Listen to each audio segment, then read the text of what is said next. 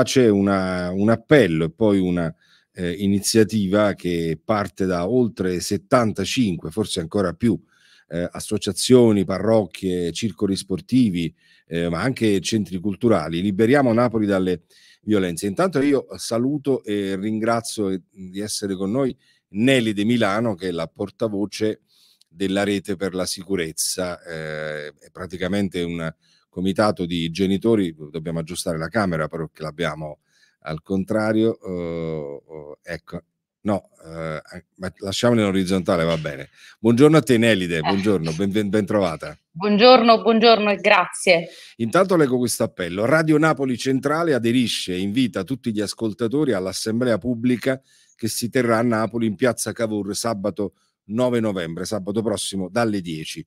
Il testo è l'ennesima morte di un ragazzo di 15 anni, Emanuele Tufano, poi quella di Santo Romano di 19 anni, ci indicano che non si può più stare a guardare.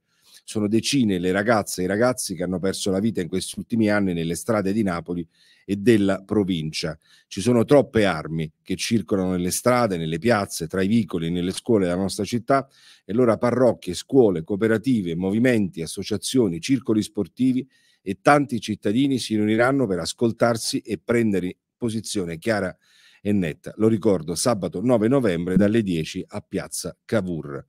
E allora, Nelide, voi fate parte attivamente di questa rete che si è stesa per difendere i nostri ragazzi e dargli un'altra prospettiva di futuro. Come tu sai, sono diversi anni che noi portiamo avanti questa battaglia per la sicurezza dei giovani. La sicurezza dei giovani può sembrare uh, un tema a volte distante, in realtà è l'unico modo per investire sul futuro di questa città, perché senza i ragazzi, senza che questi possano vivere la nostra città, la nostra provincia, la nostra regione in maniera sicura, noi siamo una società destinata a soccombere. Dietro queste decine di morti ci sono centinaia di ragazzi che nel corso di questi anni sono stati aggrediti, che hanno subito pestaggi, che hanno subito minacce, che hanno vissuto nella paura senza che siano mai state prese misure vere e stringenti rispetto a questo problema. Ti racconto una chicca degli ultimi giorni. Uh, una delle mamme che ha denunciato l'aggressione del figlio pochi giorni fa eh, il ragazzo che diciamo il colpevole era stato rilasciato a piede libero perché eh, minore di 14 anni, quindi non imputabile. Adesso si è scoperto che la famiglia di questo ragazzo, di questo baby criminale, eh, ha una pagina dove inneggia alla libertà di, del loro figlio perché nel frattempo ha compiuto 14 anni ed è stato arrestato per tentata rapina. Quindi lo stesso grido della mamma di quel ragazzo che era stato eh, partecipe al raid dove ha visto la morte Emanuele Tufano eh, varrebbe anche per queste persone, con la differenza che questi hanno un esempio totalmente negativo che portano avanti. Certo. Perché non si interviene per frenare questi ragazzi? Perché non si interviene anche a sostituire, a intervenire sulle famiglie che non sono in grado di capire che la criminalità è un disvalore, che figli che escono armati sono destinati a provocare la morte, se non propria quella degli altri. Signori, qua è un problema gravissimo perché se un quattordicenne ha facilità di uscire armato, vuol dire che qualcosa di grave sta succedendo, vuol dire che il sistema di controllo e di intervento è completamente saltato e noi abbiamo il dovere di chiedere sicurezza in questo senso. Ecco Nelly, le mamme parlano, parla in questo caso la madre eh, del ragazzo di, di, che, ha, che, ha, ucciso Santo Romano, Luigi, si è anche...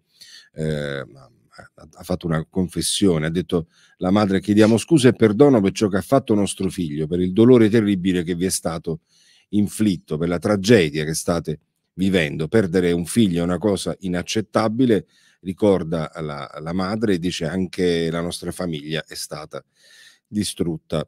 E poi racconta di come la sua sia una famiglia normale, di, di lavoratori.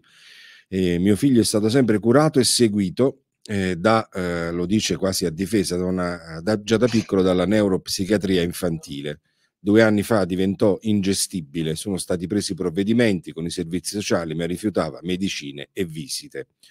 Ora il tema è un po' questo, chi doveva vigilare, visto che eh, il, il, ragazzo Luigi è anche avuto un, un, percorso di carcerazione, quindi di rieducazione, si chiamano così gli istituti minorili, di rieducazione.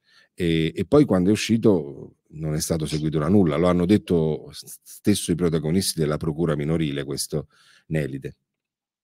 Ed è una falla del sistema, una evidente e grave falla del sistema che rende ancora più necessario intervenire in maniera immediata sulla modifica di una legge per i minori.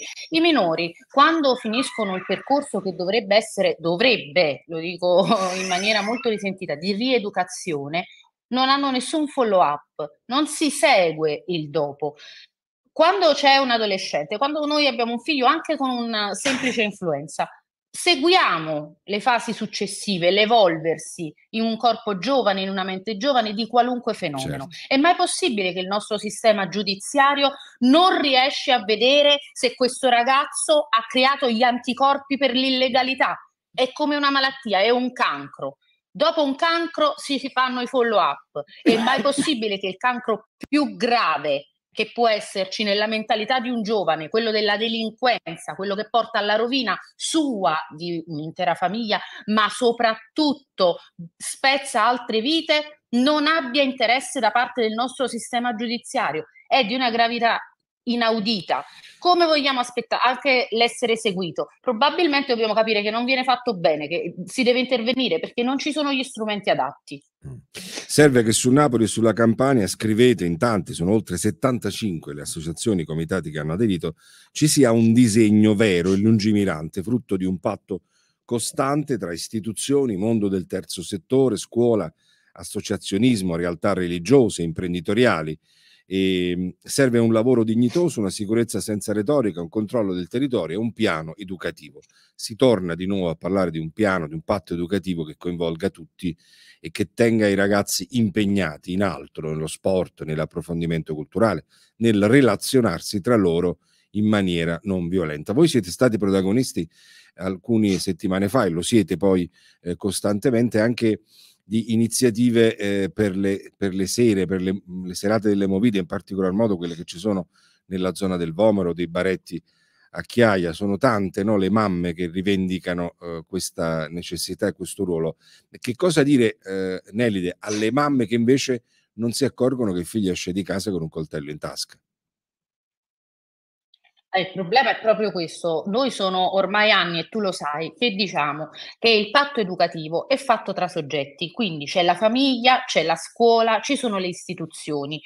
Se la famiglia non funziona, la scuola è il primo campanello d'allarme, ma spesso questi ragazzi non vanno a scuola, sono in evasione scolastica e quindi dovrebbe esserci un sistema di rete dove poter fare segnalazioni. Il problema è la capacità di intervenire. Allora, eh, hai portato bene l'esempio dei baretti perché eh, proprio l'ultimo episodio, ovvero l'assassino di Santo subito dopo aver commesso il fatto con assoluta leggerezza, con assoluta, eh, con, con totale disprezzo eh, del, di quanto aveva compiuto, è andato ai baretti di Chiaia. Questo fa capire che ci sono dei luoghi che prescindono dal quartiere, non esistono più quartieri beni e vincoli territoriali, limiti territoriali. La città è liquida in questo senso e noi dobbiamo presidiare luoghi dove vediamo eh, essere frequenti questi episodi, che sono luoghi di ritrovo, per capire quello che succede e dallo studio, dall'osservazione del fenomeno della movida che si capisce in che direzione stanno andando alcune criticità. Io questo credo. Allora, il problema non è militarizzare la città, nessuno lo vuole, anzi, noi vogliamo la sicurezza per i ragazzi, ma se vengono fermati i ragazzi dai carabinieri, ragazzini di 14 anni hanno pistole con maticola a brasa eh, in dotazione all'esercito serbo nella guerra degli anni 90, guardate che è qualcosa di, di, di, di aberrante. Benvengano questi, eh, benvengano questi controlli, però noi abbiamo il dovere di capire dove vengono prese queste armi e perché c'è questa facilità. Io ho visto un, un servizio video dove dicevano: voi se andate dai Cumpra, quelli che vendono le cover dei telefonini, qualcuno di quelli in alcune zone vi venderà anche i coltelli. Se lo sanno i ragazzini, perché non lo sanno le forze dell'ordine? Perché non si riesce ad intervenire? È un interrogativo grave, ma che noi ci dobbiamo porre e dobbiamo chiedere che si prosegua in tal senso. Bene, Nelide, io ti ringrazio. Nelide Milano, portavoce della Rete Grazie. per la Sicurezza, saranno chiaramente in piazza sabato, sabato mattina a Piazza Cavour alle 10. Grazie di essere stata con noi. Grazie a voi, grazie.